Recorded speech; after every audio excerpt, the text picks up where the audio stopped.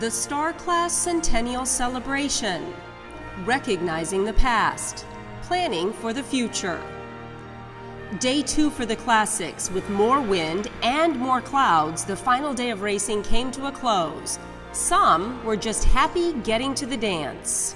Sachet was pretty much a display boat. It wasn't really a boat that had sailed for much in the last 25, 30 years.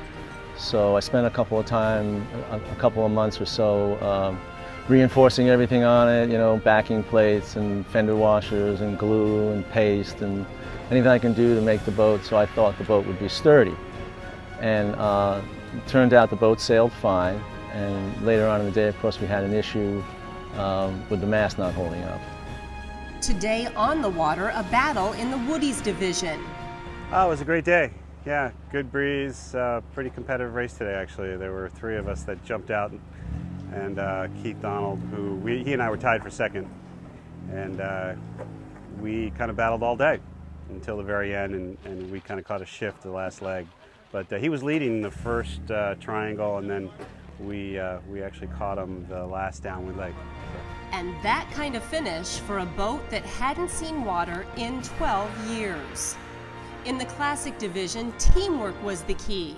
A very good first race. We were first, wind was up, a good start, and we held the lead for the whole race. You got to be ready for everything, including the right gear, the right body positions. You can either be hiking or cramped up sitting down below. You got to hike the lure, you got to hike the weather. As the oldies come off the water, attention turns to the modern division and the future of the Star Class. 78 boats moving in, among them some of the best competitors in the world. Well, I think the beauty of the Star Class is that you've been sailing against these guys before, and so you kind of know them, and it's great to sail against some of the best in the world, but it's, you know, they're kind of friends, not intimidating competitors. Well, we've got Mark Reynolds sailing tomorrow.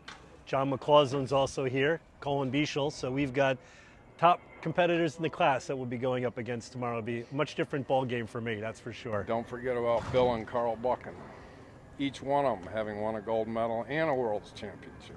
It'll be fun. The fun on the water begins tomorrow for the modern stars. Until then, there are more friends to see, more stories to share, and more moments to celebrate.